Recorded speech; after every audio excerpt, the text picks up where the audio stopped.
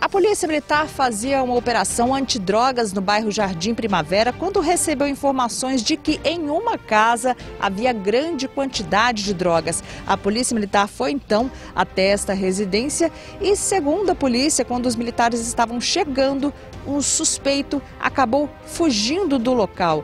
Dentro da residência, os militares encontraram 77 tabletes de maconha, 166 frascos de loló, 64 pedras de crack, 421 buchas de maconha, 668 papelotes de cocaína, além de 778 microtubos também de cocaína, rachixe, celular, dinheiro, uma balança e um caderno com anotações do tráfico de drogas.